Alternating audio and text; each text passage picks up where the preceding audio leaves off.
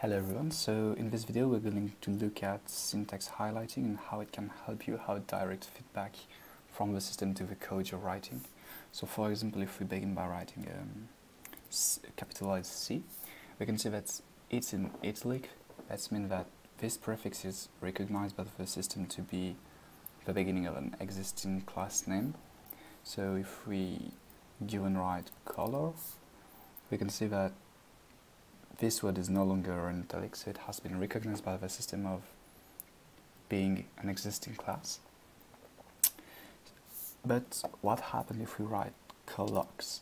So this is red, and this means that it's not recognized by the system, either because you haven't installed the correct package, or that it's simply the wrong syntax, so right here it's the wrong syntax. So if we get back our color and then we begin writing a method name. So for example, NE. This is an italic, so that means the same thing as for the class name. This is this beginning is recognized by the system. But now if we write, for example, next, next, this is red. This is not recognized by the system, but if instead we write it new.